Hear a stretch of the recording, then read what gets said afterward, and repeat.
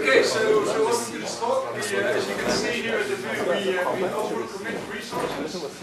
Uh, occasionally we, uh, we may have to then uh, get into uh, backup scenarios. We may actually have to disappear from here at some point. So if another group appears, that's our evacuation plan. Yeah, yeah. If we lose the fight, we go there. Well, we can send them there, right? We can also send them there. Yeah, that's probably that's a smart move. So, so we're very happy to have Joel here to tell us about uh, a real-time operating system for embedded systems that's actually been places, uh, as in you know uh, beyond planet Earth, which is uh, rather impressive. And I'm not going to talk very long because we've already wasted 15 minutes of, uh, of Joel's uh, speaking time. Are you going over? Didn't know if you were doing, had a dance or anything. Yeah, yeah, The, uh, That's in the first 15 minutes. There are probably hundreds of operating systems in existence, and each one of them has its own little target audience and go- role. Linux was an edu for teaching, Windows was for something, Linux was because Linux wanted to do it. Uh, some fit into deep, what we, where we fit is into deeply, what we call deeply embedded systems. And these are some of the systems that have admitted to using this. So a common characteristic is that most of them don't have what you would normally call a user interface. Uh, this one is actually a video, video jockey system, so it probably has got more of a user interface. If you notice, there are a lot of space systems. Um, the Curiosity, we've got a couple of systems on it. All data from the surface of Mars is uh, sent via radio on Curiosity through the uh, reconnaissance orbiters. That's one that we're real proud of. Every Galileo satellite will run RTEMS. Uh, the ones in orbit already do. Uh, in ge- general terms, about 75 to 80 percent of everything European Space Agency launches, NASA launches, or JPL launches included includes RTEMS. Uh, we've also got a lot of high energy physics, but that's really not very easy to put up a mile long linear accelerator, excuse me, a two kilometer long linear accelerator picture and have anything to look at. The fun one is, and uh, I got a great picture of Ben somewhere behind that uh, motorcycle. That's uh, actually got, it's got three embedded control systems on it and one runs RTEMS. So where RTEMS, this is a talk uh, that I gave in uh, France um, back in August, and then I got robbed in France, so I'm hoping I'm going to do a little better here this time. Uh, It's trying to show where RTEMS fits into the operating system um, spectrum, what kind of systems we're targeting, and then we've done a lot of work on what, we've gone back and revisited the concept of how threads are managed. Because um, is single process, one address space, and multi-threaded. So that's like running a single process on a dedicated small computer. And when I say small, 128K of memory, say to um, a 32 meg would be a huge system. Normally, most of that would be used for data collection and data buffering. Um, a lot of the space systems only have uh, 256K of memory or so. A lot of the ARM systems that have like 512 meg of flash and a very 64K of RAM are very kind of typical new targets. But this was um, focused on a lot of what we've done within symmetric multiprocessing, and some of it was done uh, as part of Google Summer of Code projects. The person who's listed as a co-author on this is, uh, was my Google Summer Code student in 2010, and uh, now is a core developer and has mentored a lot of students. So start to get in the right frame of mind, and you can tell me to skip if any of you guys remember this or this. The important thing is usually you focus on the logical results of computation in computer science and that they're precise and accurate, but in real time, you mean you want, that you add the notion of wanting time. So you want the correct result, but it also matters when it's uh, produced. And by that, it- there can be a deadline, or there can be a window around the deadline. There can be a decreasing of value after the deadline or before, or if you're too early. And the scary thing is, as time goes on, we have more and more of these systems that are real-time systems and small embedded systems that we deal with and we don't even think about. As Ben said, he had a lot more respect for pushing the pedestrian button and not jumping out. That's a real-time system, but it's on the order of seconds. I mean, when you think about it. But if the lights are wrong at an intersection and they're both green, cars hit each other. It's a real-time system and it has safety constraints and it's one we use every day, but we don't really think much about it as being safety critical in a computer we're interacting with. Type of system RTEMS works with usually do not have anything like a keyboard or a mouse or a graphics display. They have analogs and discrete IOs and uh, usually kind of strange custom devices.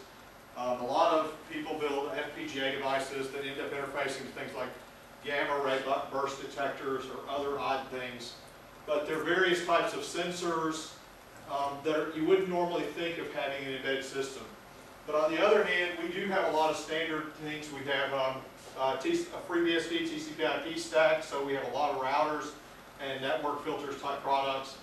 We have a lot of control systems that have network interfaces, um, a lot of consumer electronic type products. Uh, that, but the idea is that it's not a normal computer system. These are usually um, collections of unique hardware that's put together with a processor that's not out of the, it could be an ARM, but normally there's, we support about 18 architectures because people select different architectures for different reasons.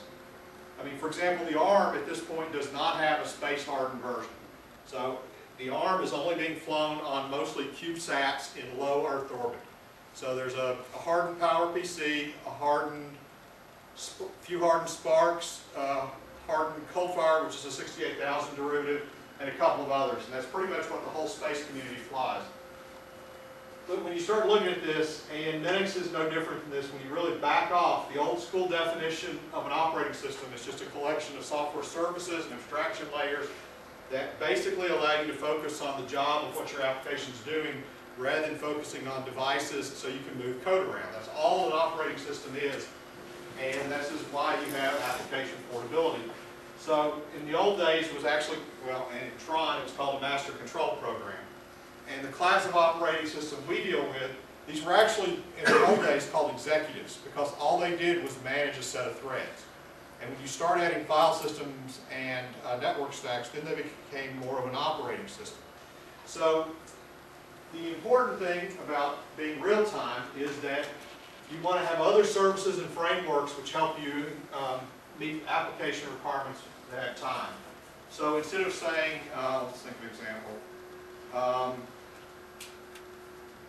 uh, a fire alarm. A fire alarm has so long from when the temperature reaches a certain level or the smoke is detected before an alarm is generated, and there's, there's going to be a timing path along that. It's not just enough to generate the signal, there's going to be timing requirements. So these often interact with each other. There may be minimums. Uh, lots of times you deal with things like uh, electrical switches and mechanical switches which have delays in, excuse me, minimum times in between two, you can't close a light switch but uh, every so often. It has a minimum inter-arrival time. But the focus is on predictability. And predictability is a key word that you hear a lot. Robustness is key, another key word. Robustness gets tied in with program correction and uh, program proof.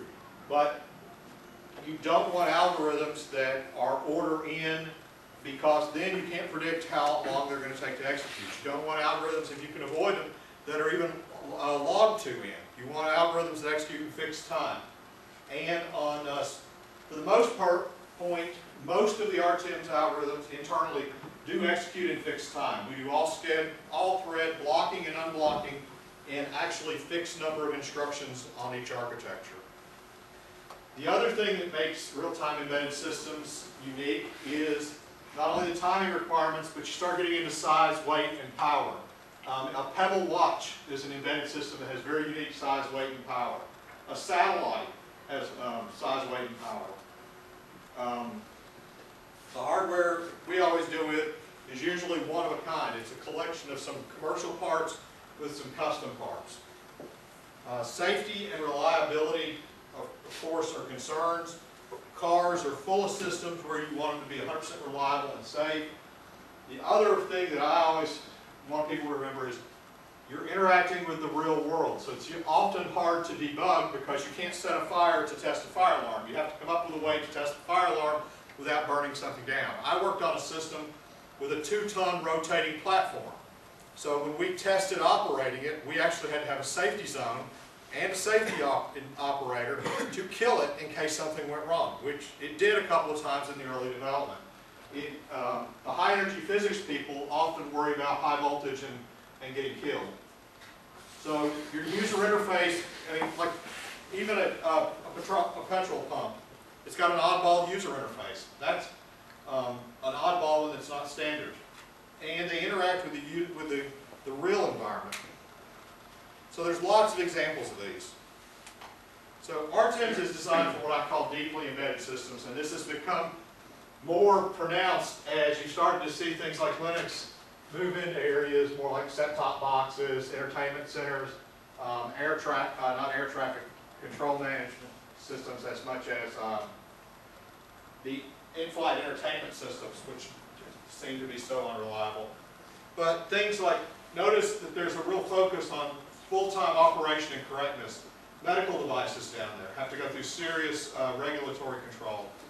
Um, RTEMS is used in some industrial power control systems and monitoring systems that are at what we in the U.S. call substations, the large substations where power is distributed. Those have extremely high rigorous uh, regulation requirements. So that's kind of the environment in which RTEMS plays. And I'm hoping that the slide that I want is up here. So RTEMS is designed to be deterministic, embedded operating system, very conscious of and are predictable on our execution time and our resource uses. We are free in the sense that uh, we do not place any restrictions on anybody who links with us, which I think y'all pretty much follow the same type of license. You don't care what anybody does. It's a BSD style license. Even if everything is not BSD style, you're not going to get any obligations when you link with the code because nobody is ever going to use field and embedded system which requires you to ship a kit of source for your medical device. You're just never going to ship it. Nobody's going to meet the GPL if you shipped a heart monitor with, a, with the GPL. Um, RTEMS supports POSIX, it, um, various file networking standards, sockets, JFFS2 for file system, DOS file system. We actually support 18 processor architectures and have about 175 uh, boards that we run on. We're pretty open, and the reason, uh, as a community, one of the things that's happened as a result of GSOC is uh, most of our hosting is moving to Oregon State's open source lab. And the reason I'm actually here is because I'm going out to ESA and doing some training later in the week. This is the slide I wanted. This kind of helps you see where we fit into the space, into the operating system spectrum. And it's really hard to do this without three dimensions because you can't, you don't, you don't get into hypervisors unless you get the third dimension.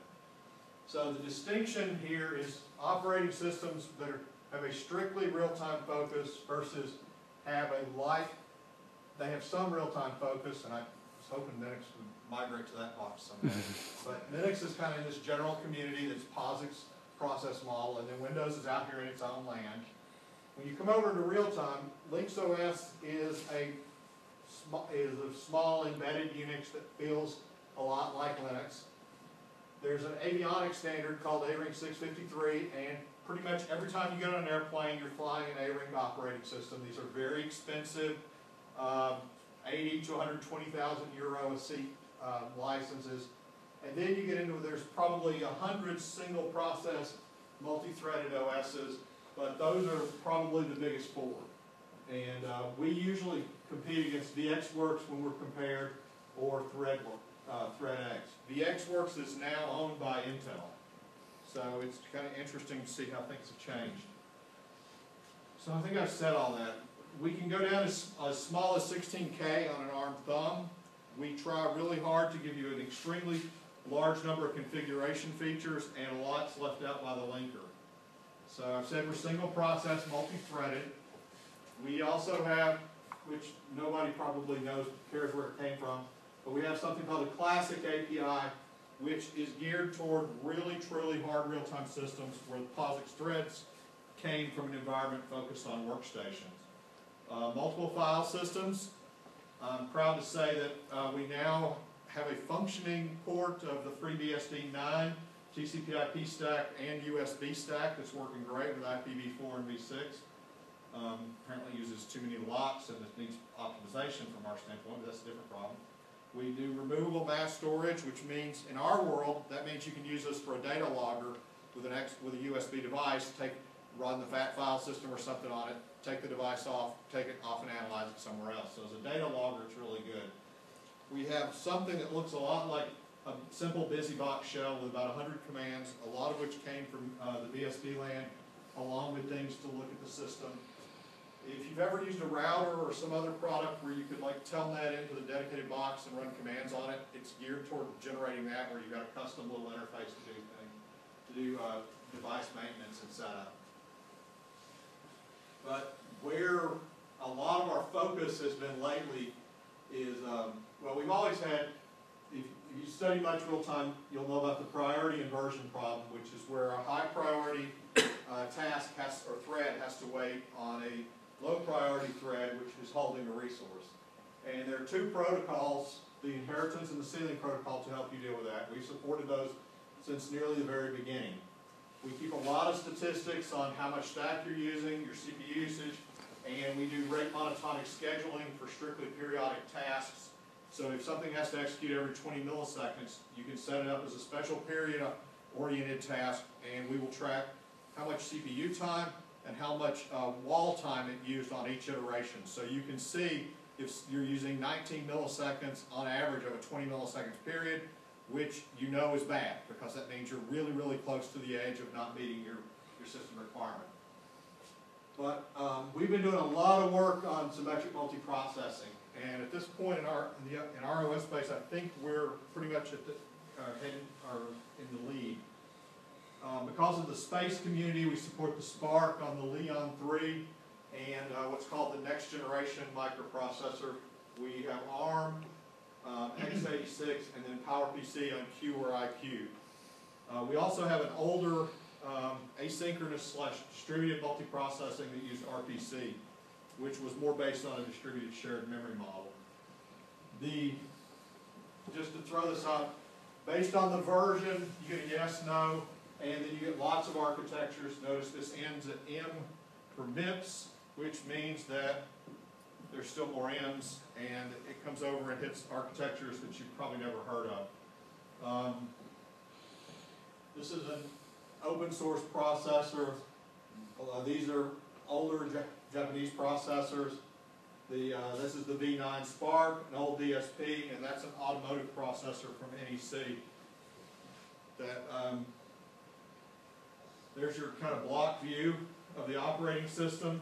The important thing looking at the operating system is what's unique about this environment. Remember I said everybody we deal with deals on a, um, as, we have to assume they have their own hardware, which means that we have to assume they're gonna put together their own unique board support package. So we have to look at a piece of hardware as a set of components. And the component is partially made out of um, the processor architecture. So is it an ARM? Is it a PowerPC? Is it a SPARC? Then we look over here and go, okay, we knew, we knew what it was as an architecture, but which ARM is it? I mean, there are hundreds and hundreds of ARM processor models with different peripherals on them. The peripherals generally live in either the shared area for board support packages or in libcpu. I think as we move to a new build system, this will fold into here. And this probably will too. These are peripheral chips like UARTs that are very common and you see across all architectures. But at some point, you look at these as your base of reusable software. I should mention, this also has the framework that every BSP has to follow. You have to put in your, your own specific information, like uh, what's your address map? What address did you put the peripherals at? Did, when you put your system on chip together, if you assume it's a custom one, did you put three UARTs, four UART, UARTs, two, net, two network controllers, zero network controllers? And there's a lot of information in here that's board specific. And um, one of the strange things that I, I don't, if you haven't looked at these type of boards, you wouldn't have noticed. A lot of the embedded ARM and PowerPC boards look really good when you read the specs. And then when you look at them really close, you can't use all the peripherals at the same time. So there are I.O. and feature configuration flags. So if you get the board from one vendor uh, you'll see one set of settings for those. You get the same chip on a different board, and you'll get another set of settings for those registers. Those are the tiny details that often are in this board-specific part. Some of these boards, uh, specific parts of the BSP are only a half dozen files. The part that's shared all the time, first you got the architecture, like I said, SPARC, PowerPC, MIPS, and then you have these basic, what we call super core. And this is a, unfortunately, our naming was really bad, probably still is. The joke here was that the trend in operating system design at the time was microkernel. And we weren't doing a microkernel. We were doing something that was more akin to an object-oriented threading library where the supercore implemented textbook computer science concepts and did all of them. So if you've seen any feature in a mutex, it's in here. And our idea was that when you went up here to look at these standards, you would see an API like uh, pthread mutex, which my recollection is it has priority ceiling but doesn't have priority inheritance or vice versa. So you only get certain features out of certain, certain APIs. Uh, the message queue here, um, you can't block uh, when you send if the queue is full. In POSIX, you can block when the message queue is full. POSIX also has message priorities. So the message queue um, class at this layer actually supports both of those. So it's just a personality or a facade, whatever the pattern, pattern name is these, these days. The, so the classic API is what was implemented first. The POSIX API is about ninety percent of the standard open group single Unix specification 1031B. And this is actually a joke in English. So do you know the English word sap, which comes out of a tree, which is sticky? Sappy. These are the parts of the operating system that everybody, every operating system has. No standard's gonna ever go near them because they're too sticky to discuss. Nobody's ever gonna discuss how you configure an operating system, how you initialize it. Loosely, there's a device driver framework that always looks alike but is always different. So the, how do you put plugins for extensions? They're sappy, they're sticky, we all know we have them, they're all different. And we're never gonna standardize. So that's a bad joke. There's an API for monitoring threads, use stack utilization, and then there's the shell, various file systems. We support GNU Ada, uh, remote debugging through GNU Ada. We have uh, a graphics toolkit. There are some graphics applications. That would be because my battery, wouldn't it? Um, There are, there are some graphics applications, and we have some frameworks uh, built on these. Micro Windows effectively implements um, the Win32 API for embedded systems, and you, get, you can actually play Minesweeper on RTEMS if you use that. In the graphics toolkit, it also build lib, includes lib, JPEG, PNG, TIFF, type, Adobe Type 1 flo- uh, fonts, and FreeType. This, there's a lot of libraries that port to RTEMS. Uh, Python runs fine on RTEMS. The cameras that monitor the Sydney Bay Harbor off the bridge run Python. And since you know who lives in Sydney, you know who wrote that code. And you, so now you know why he's a big Python fan, among other things. Um, we run, we have run for about 15 years a standard BSD TCP/IP stack. And I know we've talked a lot about how we, how not to do it. The original stack was a great example on how not to do it. The new port is, uh, we implemented the bottom layer of the BSD kernels, I think you guys took a similar kind of approach, has a, has a, uh, some APIs that they kind of agree to for kernel, for threads and mute synchronization and timers and interrupts. But we implemented their APIs. We actually, and so we are actually, basically cut the bottom out of the BSD kernel and run the drivers on top of their API on top of our operating system. So we're, we are actually running pretty much an unmodified FreeBSD 9.3 TCP/IP stack and USB stack. So the idea, one of the ideas of RTEMS ph- philosophically is that this has to be done for each application. There are only so many of these architectures, but you want everything to be the same as much as possible up through here. And if you notice, these are all pretty standard packages. We try to have as much POSIX support as it possibly makes sense. We have a lot of BSD support. So it's easy to port any kind of open source package that will run within the assumptions that we, that we have, which is, again, multi-threaded, single process. And we've got all of the communication objects, including some that people don't use very often, like barriers. And the other thing that we have that's kind of unique is since when you build an RTEMS application, you're building one process with multiple threads, we actually let you select your scheduling algorithm when you configure your application. So most people are going to use a simple priority based, but um, you can use other algorithms. And this is our uh, thread state model, which is not that, that exciting. Threads start out, they don't exist. Because of the original API, there is a distinction between creating and starting a thread. In pthreads, those are the same operation. Once a thread is ready, it can be dispatched to be executing.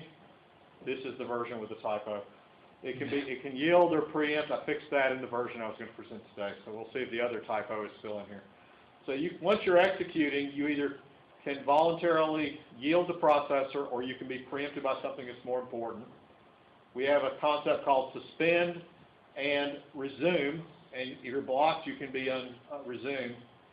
Anytime you're ready, if your the scheduler determines you should execute, then you will become the executing thread, and you can voluntarily block or suspend. So the focus in the design of our RTEMS is very thread-oriented, and at any given time, a single um, action or state change happens to a thread at a single time. So what happens? You're executing and you voluntarily yield the processor. You're executing and you block waiting on a mutex.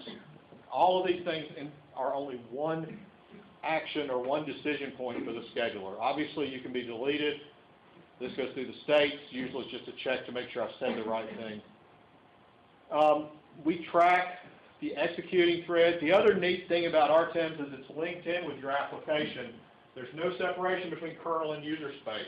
The whole processor is, is available because you're one process on the, on the, uh, you're one POSIX process on the processor. So on a single core system, there's only one thread running at any given time. And inside the OS, there's uh, a variable called thread executing, which is now a macro because of the SMP. The neat thing is you can always trace in because you build RTEMS as part of, you build it as a library, and link it with your application, which means you can step into it. So as we did the SMP work, we didn't redesign RTEMS, but we really rethought it, refactored it, and restructured a lot of the way the thread stuff was done. And one of the things that came out of that is, what does RTEMS do? It really just manages sets of threads. There's a thread, set of threads executing, there's a set of threads waiting, ready to execute. There are multiple sets waiting on resources. So, and you can change on a per thread basis your priority and actually whether you're preemptible or not. So in most environments, your thread's always preemptible. In RTEMS on a single core system, you can say you're not preempted. So this is the overarching uh, thread set view we've gone to with the symmetric multiprocessing. At any given time, there is a set of uh, executing threads. In a uniprocessor system, it is only one set of one thread. But in a symmetric multiprocessing system, the big change is now there obviously are going to be one on each core. And that has implications for application correctness. There's also a set of ready threads. It's the same set. And actually, all the scheduler does is manage this set of threads. So he decides when it's time to dispatch and change the set that's executing. And the, other, the final thing is that at any given time, you have an arbitrary number of mutexes, message queues. You can wait on time with delays or until a particular, uh, like midnight. And this didn't change for, uh, for uh, multi-core. So what we've changed with multi-core is you can have more threads running. Because you can have more than one um, thread run at the same time and you have more than one processor resource to allocate to, you need different scheduling algorithms because most of the historic algorithms only know how to schedule one core. So you go into a whole different class of scheduling algorithms. So you want to be able to swap them in and out. The other thing about symmetric multiprocessing scheduling algorithms is that it's still an open research topic, which is an even stronger reason to have a plug-in architecture because no matter what you do today, it's wrong. I mean, I'm, I'm not going to go, go down to the mat saying I know what the perfect algorithm is because I don't. So here's our scheduling mech- uh, mechanisms, and those are pretty straightforward. Manual round robin is how old Windows and uh, Mac OS did, but it's real handy lots of times in um, real embedded systems just to cycle through a, a set of activities. Rate monotonic is pretty much a topic by itself. It's a way to schedule periodic tasks and guarantee that your task set is schedulable. We have up to 256 levels of priority. Um, each API defines which, whether numeric high or low is, is the most important. But the important thing is you get to change it on a per thread basis, and this is, it's important how you do it because these priorities are supposed to reflect what's important in the external world. So um, in rate monotonic scheduling, the activity that happens the most frequently is the highest, should be the highest priority. Preemption allows tasks, uh, says when you're executing something more important then you can give up the, um, can take the processor away. So if I'm running and Ben is woken up, Ben's more important, so he would run. That simple. But if uh, Dr. Tanenbaum came in, he would preempt Andy, I mean, sorry, he would preempt Ben. But if Ben had, the priority inversion problem is if Ben is holding something Dr. Tanenbaum wants and Ben won't give it back until he's done. That's the priority inversion problem in a nutshell. So, time slicing is based, is limits the length of time a task runs before it's evaluated to be um, executed again. There's a subtle difference between the way Classic API and POSIX API handles when the processor um, thread, when the time quantum is reallocated. So basically, if you're not preemptible, then you can't be time sliced because it's implicit that you're going to give up the processor. So time slicing just uses the clock tick to round robin tasks as necessary.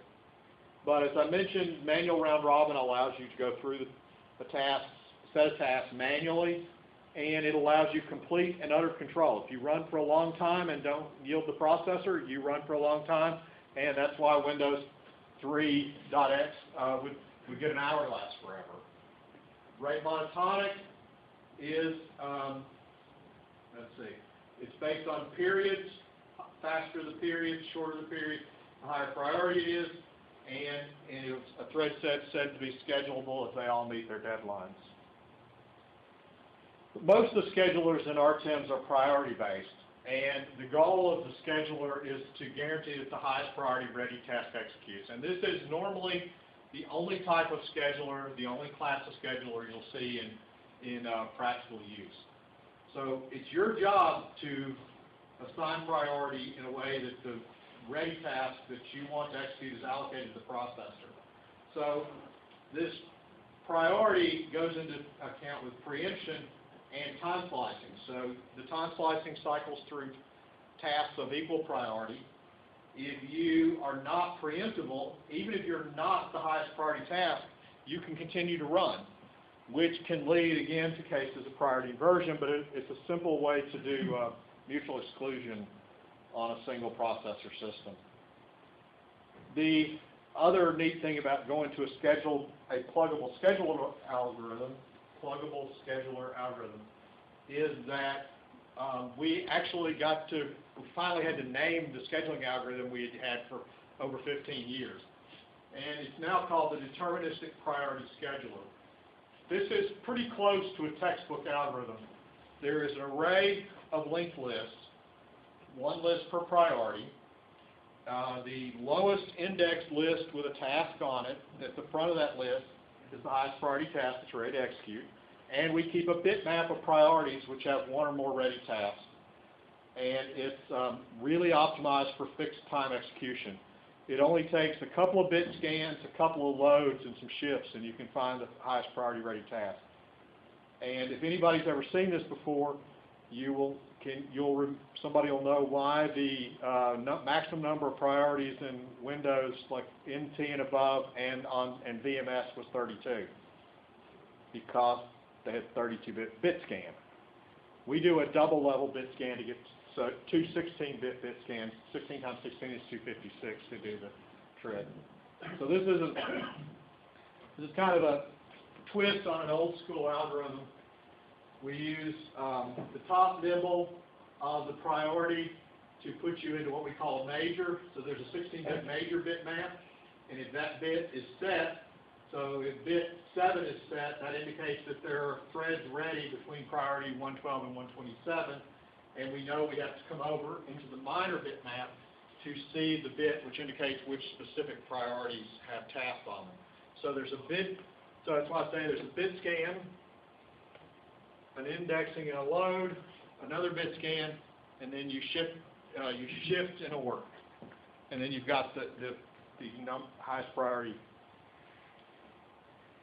So here's an example, um, when you initialize almost any of the default RTEMS configurations without too much tinkering, you'll end up with a thread at priority one and a thread at priority two fifty-five. Two fifty-five is the idle thread, and priority one is, unless you change the default, is an initialization thread. So, uh, that shows you the major and the minor, and the major is, got a bit set at each end, that would be priority one, that would be priority two fifty-five. The interesting thing, deep in the, when you port, this is kind of a, um, logical representation. Sometimes you get, uh, find the first zero set, sometimes you get it from left or right.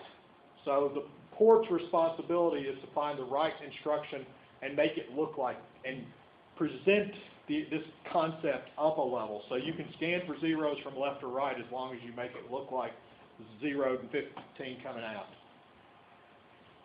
Because I think the PowerPC even numbers the bit opposite of every, the way everybody else does. I think what most people would consider bit thirty-one the most significant bit, I think they call bit zero. Now, that's the scheduler that everybody has used, it's flying on every mission that's flown, but to prove we could have a pluggable interface, the second algorithm that was implemented is the one that's in every textbook, which is a simple, straight, sorted list of tasks. And it's really simple, has the same behavior, it's terribly not deterministic, but it doesn't use much memory. And the cool thing is, this is engineering, this is not theoretical computer science sometimes. If you have a low-end system, it probably only has four or five tasks in it. And it doesn't matter how, what algorithm you use if you only have four or five of something. The algorithm only becomes important when you have tens or hundreds of something. So if you've only, if you've only got a processor that's capable of an application with six tasks, it's not going to take you long to put them on a linked list. So that's the trade-off. You save three or four K of memory, and you got it. We haven't, has anybody ever seen earliest deadline first? It's, so this is an implementation of the earliest deadline first. It's based on our rate monotonic periods. So you set up a task that runs on a period, and its period, its next period is its deadline, and that's used as the deadline. Uh, so the start of the next period is the deadline. So logically, we have two bands of tasks, the periodic, deadline-oriented, and the ones that aren't. So the ones with deadlines are always run before the ones without deadlines. And that's a pretty standard way to design a system uh, in, on, in paper. I don't know if this algorithm has actually been used in a, in a fielded RTEMS system. This is similar to the same algorithm in, in Linux, uh, constant bandwidth server. It's basically the earliest deadline, um, first scheduler extended, so now you know a per CPU budget, and when the budget's exceeded, the callback's invoked. One of the cool things that um, this algorithm does is that it does what you do. You get to Christmas Eve, the stores are all closed, and you decide, it doesn't matter what I do, I can't shop for everyone, I quit. And then you just start drinking at 2 o'clock because you know you can't finish your shopping before 6 anyway. That's what the scheduling algorithm does. It, it knows when it's pointless to try, so it just gives up and continues. If you're not going to make your deadline anyway, why care, right? Then we get into the SMP scheduling algorithm. I should also say it sends off an alert, which you probably don't do in this Christmas. You kind of slither away in shame on the Christmas present example. The simple scheduler algorithm, the simple SMP scheduler algorithm was the first one, uh, SMP algorithm we had. And the idea was just to take the simple, um, single core algorithm and extend it to multi-cores. And the irony of this is that by the time it was done, it was no longer a simple algorithm. It was quite a complicated algorithm, but it still used a linear linked list.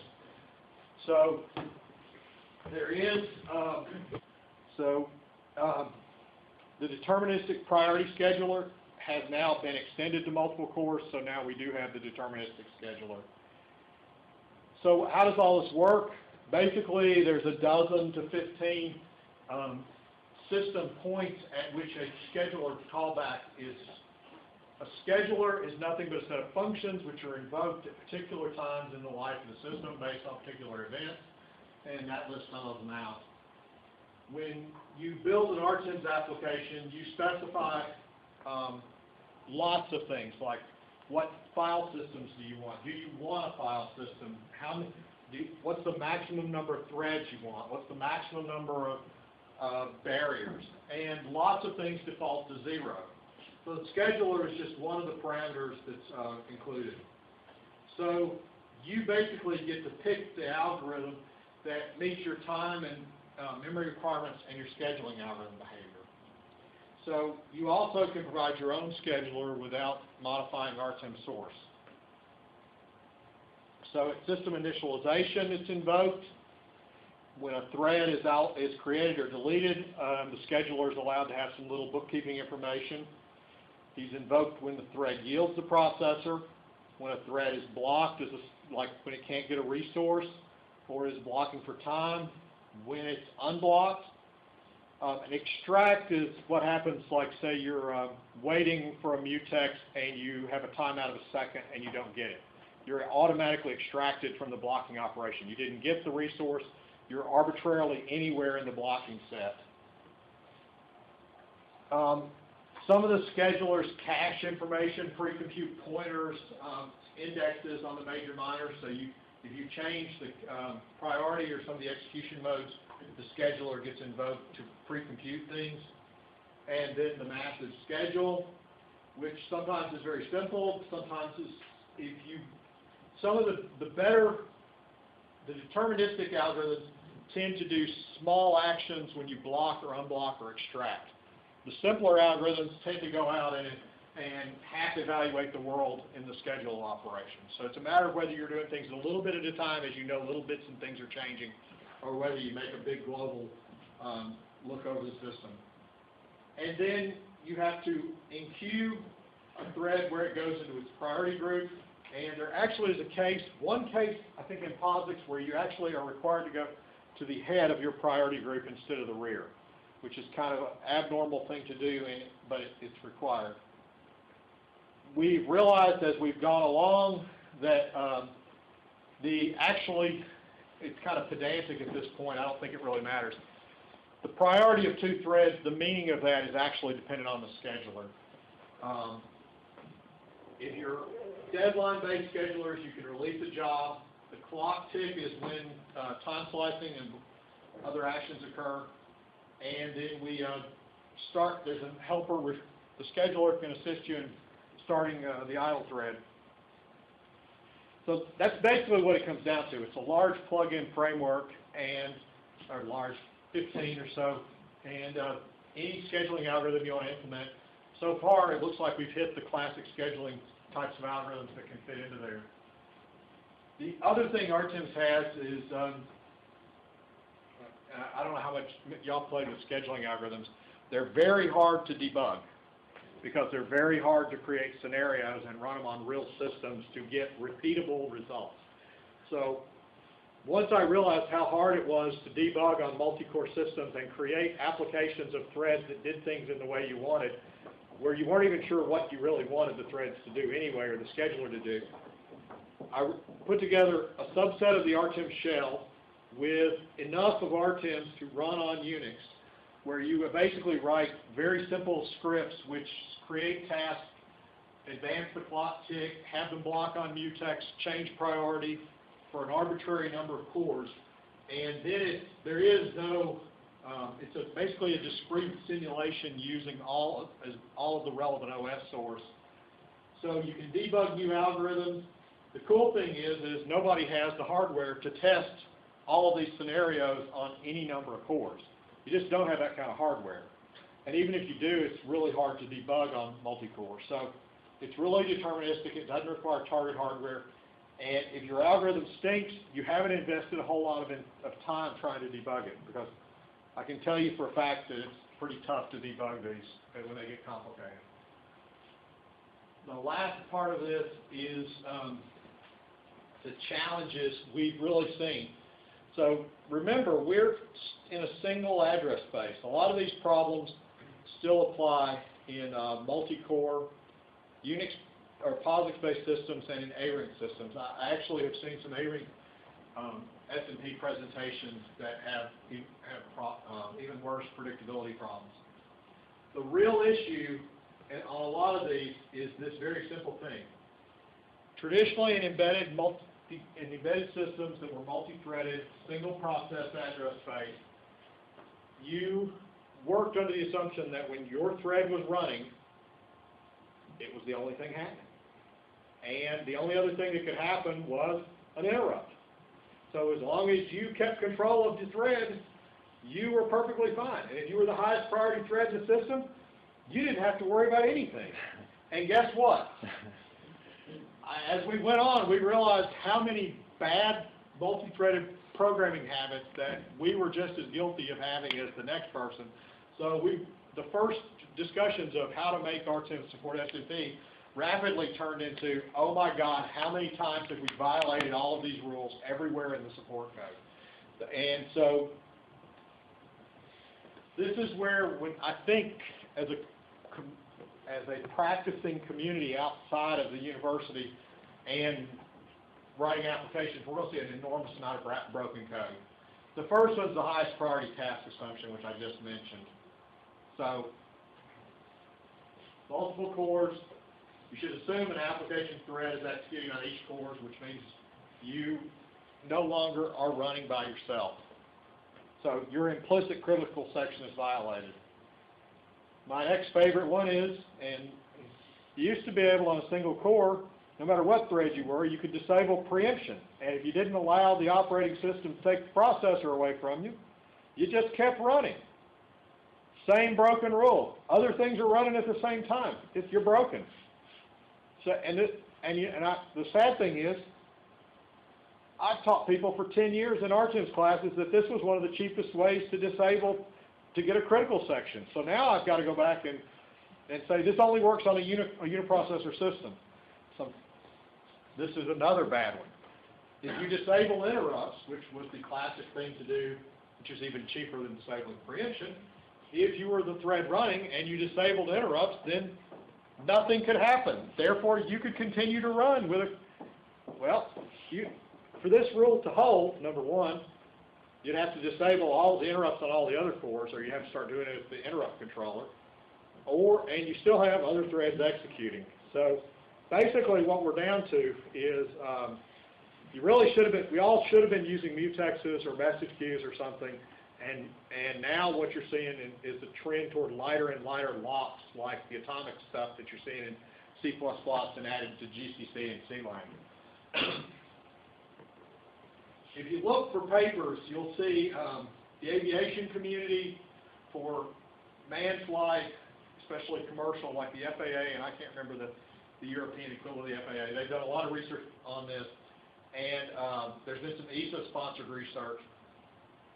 Ca- caching is um, really, really hard to predict on an SMP system because you don't necessarily know what's running. You basically normally have one memory bus, and everybody's hitting the memory, and everybody's hitting this cache, trying to keep cache coherence going, and so there's a lot of cross contention.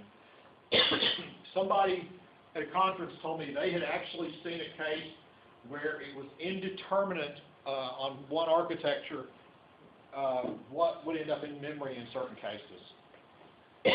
This is a really hard problem. The part, assuming the cache coherence really works, the real problem is, is that the two co- multi-cores can basically, uh, rip each other, fight for half the cache each, each. So where you used to would have run code that would have completely fit in the cache and you would run fine, now somebody else is chewing up half the cache, or now a third of the cache, or a fourth of the cache. Or if you get into more complicated two-level designs, you spin on memory, and now you lock the cache coherence to do the atomic lock with another processor, and you're chewing him up from even updating it. So there's lots of caching issues that are very subtle and hard. So, since when I did this, uh, last time, was that, I thought it was good to end with, well, what we, what would really help us? Um, really practical scheduling algorithms. A lot, I remember when I was uh, in uh, grad school, distributed OSs were all the rage, and every algorithm started with the assumption, global state information, which is impossible in a distributed system, and then they would run an order n cubed algorithm. Okay, that's just not practical in the real world. You can't, you can't run n cubed algorithms and meet millisecond delays, I mean millisecond, uh, uh, sub-millisecond response times. They also have to be predictable and meet the real-world implementation constraints. There's still really, how do we, um, I really don't know what the best practice is on how to assign threads to, to separate cores based on application patterns. I've got a couple in mind, and generally they boil down to put all the computation on one core and put all the I.O. on the other core. And because at least that way, they're kind of naturally related, your interrupts will tend to migrate toward one processor. Chris is big beef, and he'll give you about an hour lecture on it if you ask, is the debugging aids really stink. Where we've all gotten spoiled with Raspberry Pis and Beagle Bones that have, what, the nineteen dollar tin can JTAG. Chris is dealing with a fifteen thousand dollar uh, debugger and no open source cheap alternative for the ARM board he's using. He's looked at, um, I can't remember which Intel chip they're pushing for embedded. It's, I think it's on the order of ten thousand US to get the documentation under NDA to know what the pinout on the chip do, would do to debug.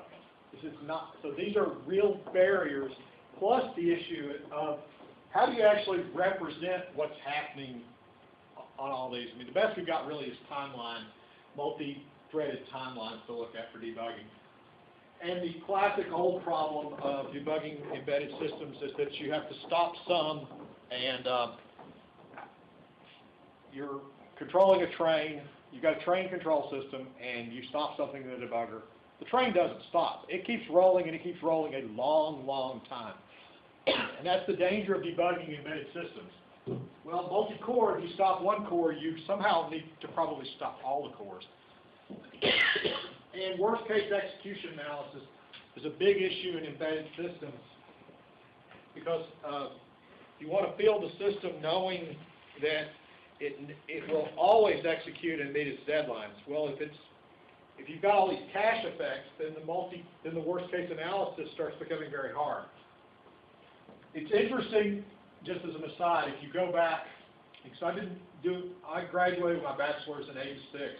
In the late eighties, early nineties, there was, I think it was joint, I can't remember which program it was.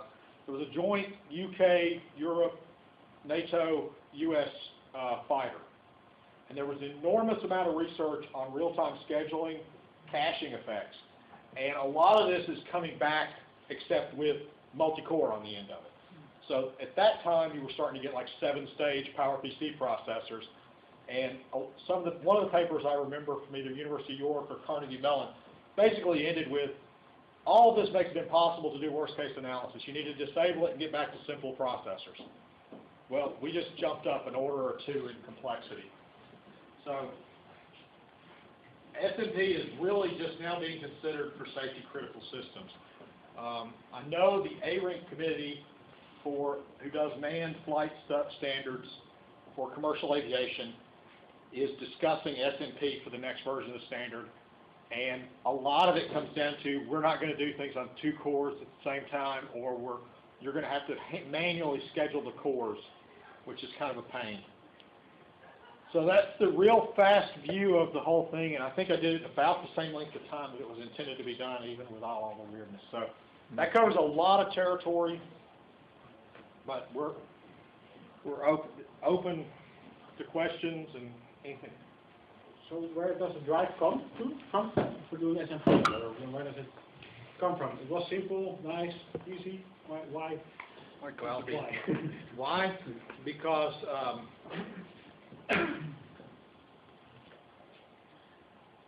SM, you, to keep a, a fanless process, commercially embedded, you usually don't want a fan processor, and you don't want a high heat processor, which means you tend to focus, the SMP keeps your clock rate and your heat and your power lower, but still gives you the natural concurrency and the throughput you need. The other side of that is, and where we got our initial funding to do some of this, space processors are built slow.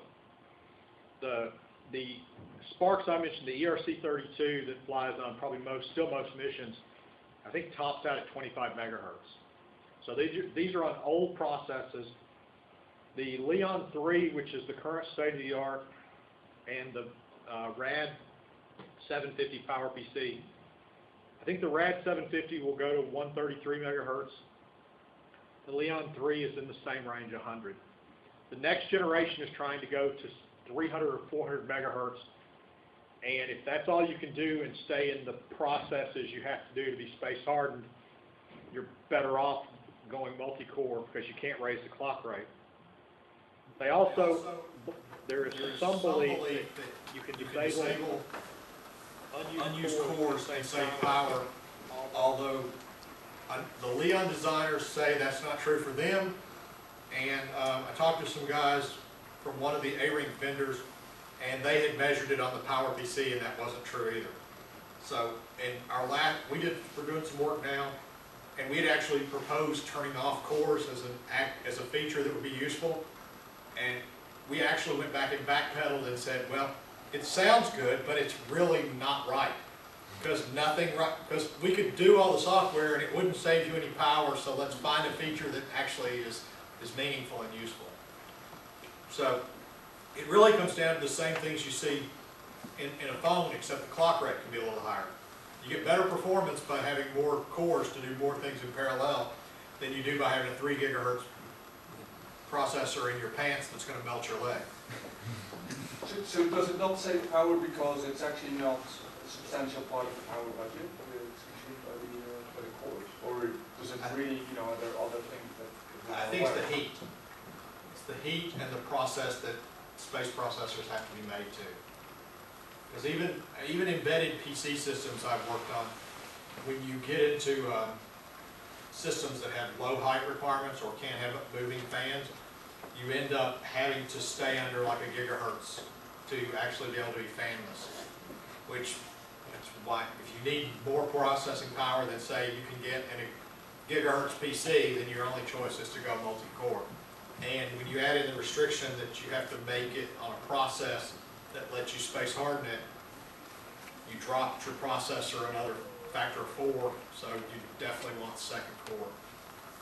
The funny thing is, they want the performance, but I, I'm, the technical challenges are pretty high at this point. Because the first SMP processors for, for PCs also were not, well, scheduling was not so easy.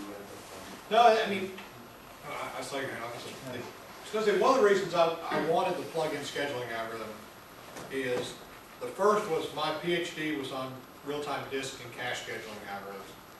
And I also believe there was no one true algorithm either for a lot. You, if you knew what your system was doing, you could pick a better algorithm. So I like having, these embedded systems are cu- custom, special purpose applications or devices. They're only doing one thing their entire life. If I gave you the set of requirements for what you're doing with the disk or the processor, it, you could pick intelligently how to manage it better. So that, I didn't answer the question. Oh, the other part of the scale, why there's a plug-in framework. We knew that every, history says, every operating system did one, then did a lot of work to get to two and four, Eight was another leap of faith. And then somewhere beyond that, the algorithm fell over and you needed another algorithm. So we really anticipated that on top of that, that we would have real-time research to come up with better algorithms along the way, or that were tailored for different situations. And actually, there is an architecture called the tile where I think they actually already have 64 cores, but I don't know how useful each core is. So, I mean, they're going to get there. It's just a matter of time. So what's the API for an application? Suppose I want to use the uh. So how do I set deadlines and uh, how do I, can you do monitoring, for example, that you make your deadlines within the application or? Okay, the deadline, the, um, the debt, when you're doing rate monotonic scheduling, I'm trying to look for a piece of chalk, most embedded system tasks. On the left. Ah. Most embedded tasks look like this.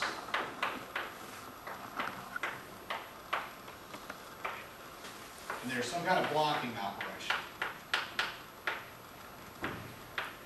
So they sit their entire life waiting for something to happen, and then they do something. And that's all they do. So you press a key, I wake up, I process a key, I go to sleep, wait for the next thing. Oh, that's it. The operation is actually, well, there's RTEMS rate monotonic of it, but it's really period and like 10. And so you would wake up every 10 milliseconds, and that would be it. That's how you set your loop. So it looks exactly like you were waiting on a message queue or a mutex or anything else. And suppose I have a, an algorithm that's, for example, quadratic or something, and I have to run it. That's the only thing I have to run, uh, that I can run. Um, so is that a problem or? But remember, you, you, if that would be the, if you're running it in the background to completion, see, normally you do things that are time-focused or in response to events in the system. So somebody pushes a button, the door opens. So if you've got this long-running algorithm in the background, it could just run in the background. Or you know that, um, let's say, this wakes up and then it processes it as a scan code. You know how long that algorithm takes to run, or, and when it gets a whole key event, it might send it to something that's more intelligent. Oops. I'm trying to come up with a good example, because you gave me a broad one, and I'm trying to come back with a good example. In a s another example, there are a lot of applications like video processing that do things, um, pipeline processing. So you do one codec and then another codec and another codec. So you could run each codec as a thread on a frame, and you could run it on one frame, then pass the, a pointer to the frame to the next thread, the next thread to the next thread, and you could set it up. So rather than having an enormously long sequence of call this, call this, call this, that you don't know how long it's gonna take, you can tune out the algorithms into separate threads, and then on, on an SMP system, naturally, those threads would run on different cores once you got a few frames in. Because you would, you know, you'd, you'd, you'd start off with one here, frame one here, then frame one would be here, and you'd be doing frame two. And so by naturally breaking it into threads, you would naturally be able to take advantage of all the processing power. And the cool thing about that is you could, um, break the chain of processing and insert another codec. So a lot of like signal processing algorithms are done, or signal processing systems are done that way. You know, you filter the data, then you do this with it, then you do that with it, and you do this with it. You come up with a better algorithm along the way, you replace it.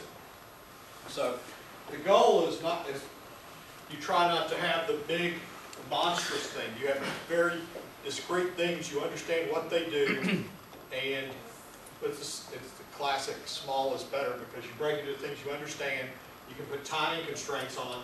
So he, this task wakes up, does something, possibly transforms some data, does some computations, but there's a finite bound on what it can do. And, and that, based on this period, he would do something like this. At time zero, and then he would be scheduled at ten and twenty. And depending on whether he was the hot, the first time, he might run all of this and then wait until here. But he might not be the most important thing, even though he was ready to run, he would, he might run here, but, and, but he would be ready again, he's ready there. So his deadline is that he completes by the end of the, the deadline, not that he starts on the deadline. So that's the way the rate monotonic algorithm works. The rate monotonic algorithm actually was developed for the Apollo program, it's that old. So it's, um, did I- beat that, or did I just go all the way around it and not answer No, no, no, no, no. So, but how do you tune this? So if you, you have a specific architecture, you, you install RTEMS on it and you think, okay, this should be fast enough and it turns out not to be, or. The thing I've done, the thing you do, if you, if you can, a lot of these systems really are periodic, because you're dealing with events in the real world that happen with frequency, or a maximum frequency.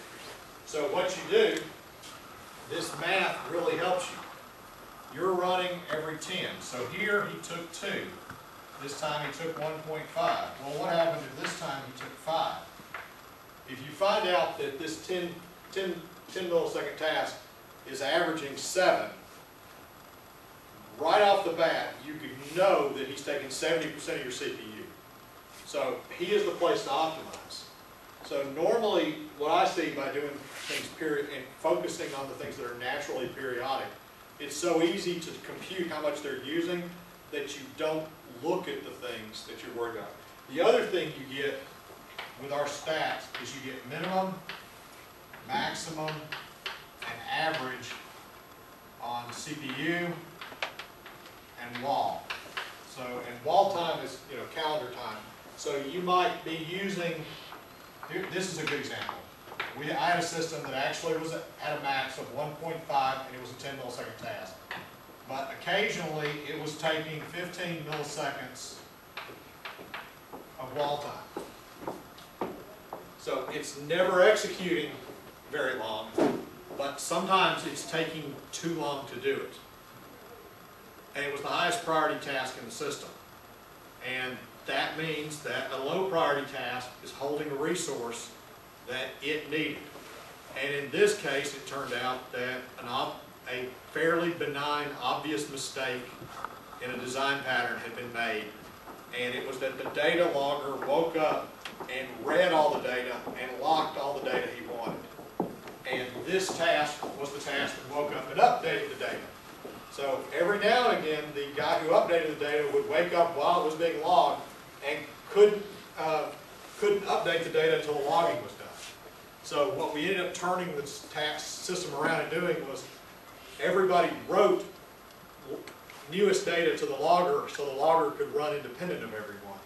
And it was, I mean, and it's pretty obvious, you want everybody to lock the data, so what makes sense for the logger to wake up and go gather it, right? Well, it also led to a priority inversion problem, which if you look, uh, let's see, which was the Mars rover for Curiosity? Spirit? The, the, the one before it had a horrible priority inversion problem that had to be fixed on, on the ground. And it's a pretty famous one now. I can't believe, On the ground there. On the ground there, they did a code upload. On the ground. On, yeah, on the Mars. It was on Mars when it happened. These are easy to do because they're not obvious. Disk. And and it's not that people doing the system are stupid, it's that we did it exactly like you were supposed to. We locked the data every time it was accessed or updated. We just happened to get the priorities of the tag. We got the access, we got the accessor pattern wrong, so. Nobody said these were easy. It's multi-threaded, that's why we get the big bucks, right? That's from that system in, in, uh, my class slides, because I think that's a real example. And it's, and it's also a hint that in the US, we say sometimes you want, you look for, you're always looking for horses, but sometimes there's a zebra. So when you see the zebra, you need to find out why it's there. And this was a zebra. This, this task was running perfectly, except once in a while. And it was this. And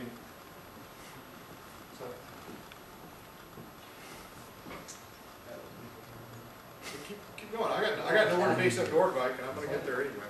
Maybe this is a stupid question, but do you sometimes uh, bake uh, your operating system into the hardware as well? the most I've ever seen anybody do was a research project where they actually, uh, I don't remember if he's finished this or not, he, he was implementing actually a scheduler using a plug-in with a V- FPGA assistant. So that's an interesting thing to do. That actually had been done with Ada, uh, in the early nineties, and it's kind of painful, I think. It's better with FPGAs, but it's kind of a, it's hard. Normally, it's just part of, linked in with the application and shipped around with the application, so you don't know it's there. And we don't know it's there. With Unix systems, you often uh, discover at one point that you just can't meet some deadlines. And that's where usually then you start adding hardware, uh, buffers or whatever. I guess that this happens less or uh, If if it happens, it'll, it'll either be a horrible design problem early on, or it'll be something where things have been added to the system. And at that point, the, the priorities are really supposed to reflect things you don't need to do. So by being completely priority-based, you're supposed to avoid these problems. The other thing is the rate monotonic scheduling algorithm. One of the um, rules is called the processor utilization rule. And um, I think the limit for the formula is like sixty-seven percent. So in, to use that rule by math, you can never have over sixty-seven percent utilization for periodic tasks. But there's another rule called first deadline rule where you can basically draw out a timeline and you can get a lot higher. But you can also, I've, I've got an example in my class slides where it gets high enough where if you actually had this and saw this on a system, you would probably stop the project until you fix the problem because you, it's like within a, a few percentage points of being complete overload. Because that's the problem with all these. If, if you, you start wondering how accurate are my measurements, and if I'm reading ninety percent utilization and I haven't fielded the system, you know, you start getting nervous very rapidly.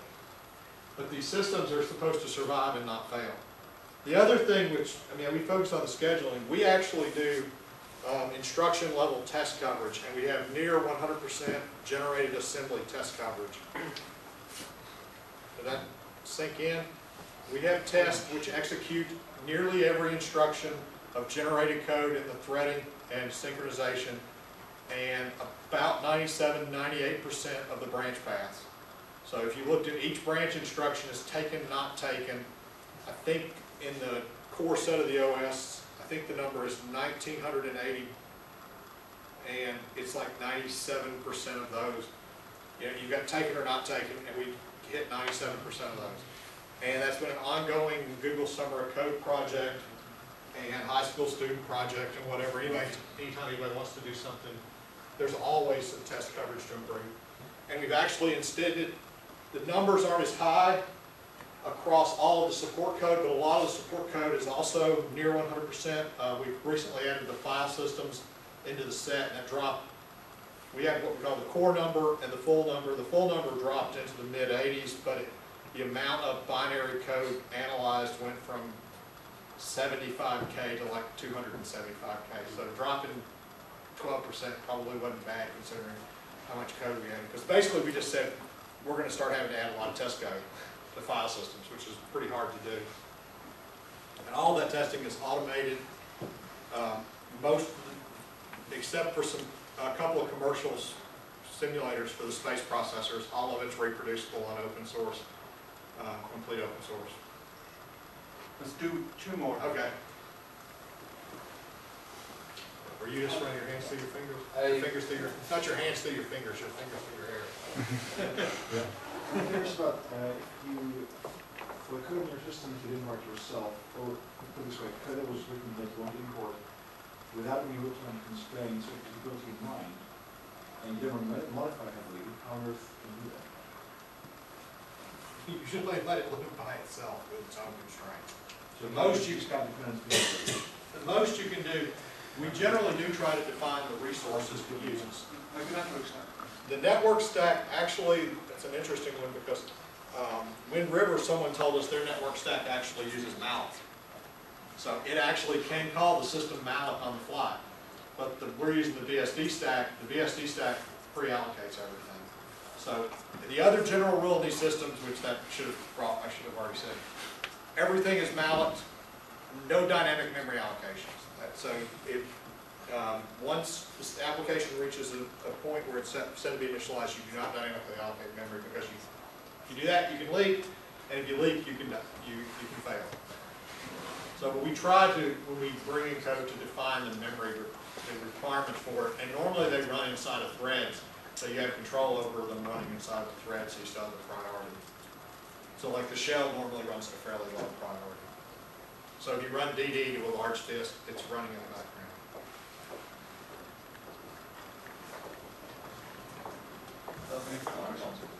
How do you, uh, when you send, the- you mentioned processors in space and that they get hardened? Yeah.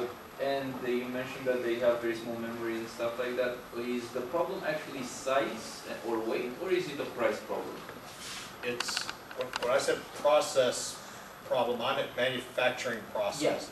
Because once the lithography drops to a certain level, the, there is less, a higher, this is not my area of expertise, there's a higher probability of a cosmic ray hitting the actual circuit than when, like an older circuit, um, where the lithography is larger. A lot of the cosmic rays pass right through without hitting anything.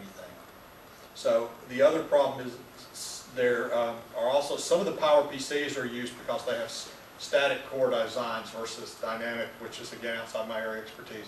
But apparently whatever a static core design is, but they, the process to make it resistant to the radiation and the heat makes the speed lower.